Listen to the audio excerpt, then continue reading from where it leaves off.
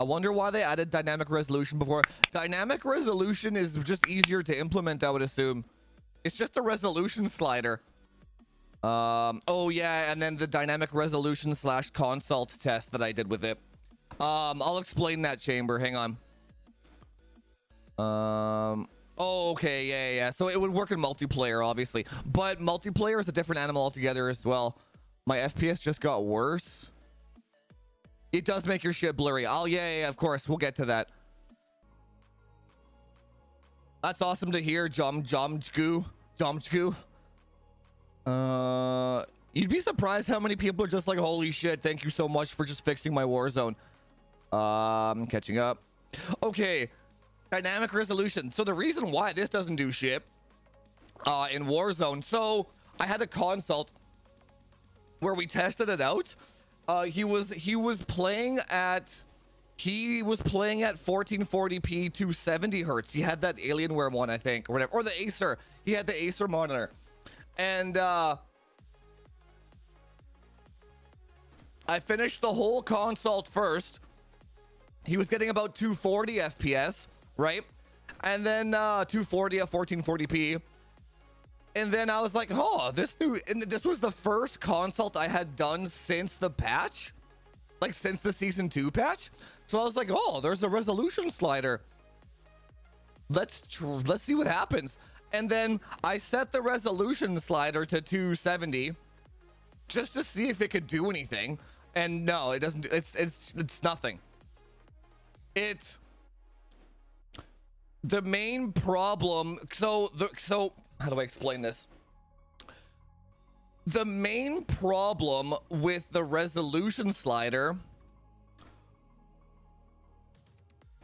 is the exact problem of why DLSS is not going to work in Warzone either. Resolution slider equals DLSS.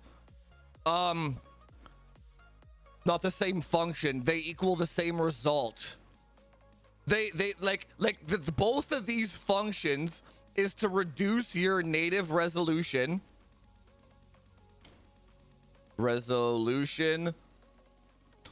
Holy crap. Resolution to increase your frame rate. This one does it on the fly, goes up and down to try and hit a target. This one just does it statically and upscales it, right? Um, this one doesn't. This one lowers your like fidelity. This one increases it, but they both have the same goal, right? Um, now the reason why the resolution slider isn't gonna do shit if you have like a, uh, I would say 2080 Ti and up. Like 2080 Ti and up, not gonna do fuck all for you because you're still CPU bound.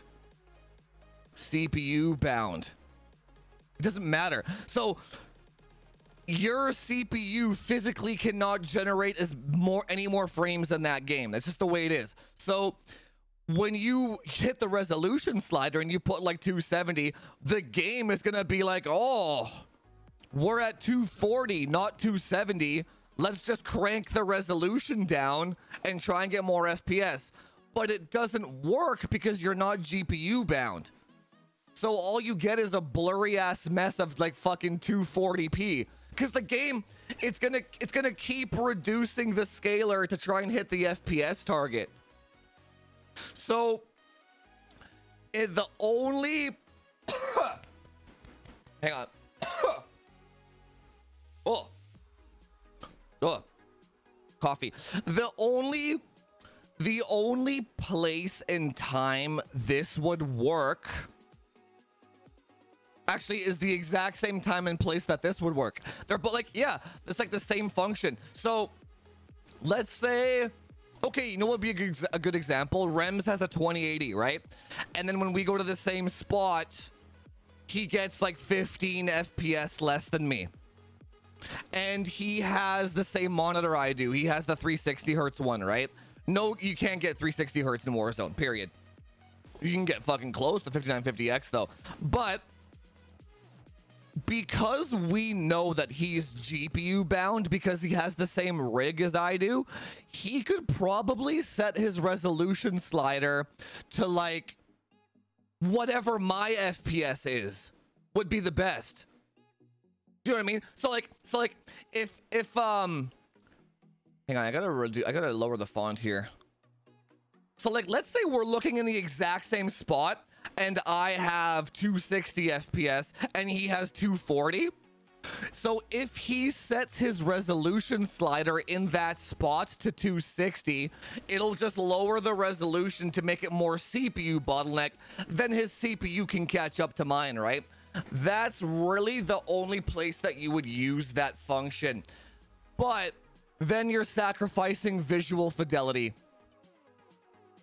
I would rather have the visual fidelity. You know what I mean?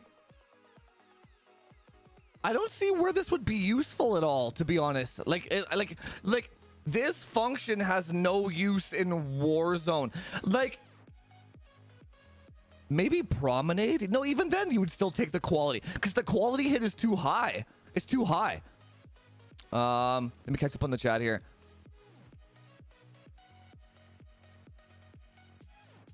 Yeah, four sticks will, four Vipers will get you more gains. Yep.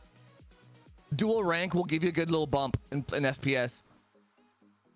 Um, uh, let me catch up. Dynamic resolution was always the console thing. That's exactly what it is. So yeah, if you're if you're in a console context, that makes much more sense because okay, so like let's say you're playing Warzone and you're already over 200 FPS like, like you know, you know how usually I configure the consults. Oh, okay, so the consults are like, I'll look at what monitor they have, right? And then if they have like a 1080p monitor and they're already over 200 FPS, I will actually go and increase the resolution slider to like 110 115 because the the visual quality that you get from that resolution slider is way more important than going from like 200 to 220 FPS. Like being able to see farther away more crystal clearly is better for your KD in that game than going from like 200 to 220. But if they have 1440p, then I just leave it on 100 and then try and get as much FPS as possible. So you have to you have to tune the machine for the monitor that you have, right? because these guys can already see farther away but just by the the factor of their screen right um so dynamic resolution would make sense in a console sense because those guys play at 60 to 120 so if 60 fps is like 1800p and 120 fps is like 1440 that's fucking that's over okay let's say 60 FPS is 1440 and 1080p is 120 FPS. It's probably more worth it for those guys to have one 1080p 120 because they're like they're so slow that being able to see farther away isn't gonna help them. They need to just get faster at any expense, at any cost. Just get faster, right? That's like like the lower your FPS, or the more, so, let me rephrase that. The more GPU bound, oh, my monthly report for Amazon affiliates. The more GPU bound you are, the lower FPS you have, dynamic resolution might make sense for you. If you have a mo if you have let if you built that budget rig of my last video with a 10850K, it, you would never be using dynamic resolution or DLSS. Well, maybe D maybe DLSS to upscale to 4K, but you would never be using dynamic resolution. And I gotta close my window. One sec. Hang on, let me catch up. Sorry, there's a bunch of questions here. In your opinion, for 1440p Warzone, what's your what's the refresh rate of your monitor? Is it a 1440p 165 hertz or a 240 hertz plus? If it's a 240 hertz plus, you'll want 10850K. Absolutely. If it's 165 hertz or down, don't touch it. Don't worry about upgrading. Um, because the CPU, the CPU only increases the maximum threshold of your Uh, but you also need a graphics card that can power it too, right? You literally need a 3080 or 3090 to do 1440p 200 plus fps slash hertz you like you need a powerful ass system dude powerful ass system and so if you have 240 yeah yeah then a 10850k or fuck 10850k slash 109 it is a good upgrade dude. It is. Just because warzone can make use of the it's like 20 percent. It, it like the game literally scales linearly with that shit. So it's like 10 divided by uh fuck. 10 divided by holy shit the pre-workout's kicking in 25% you can literally get 25% more fps not directly it's like 20 20% you know what i mean? It's going from a 9900k to a 10900k is like 20% fps it's quite large.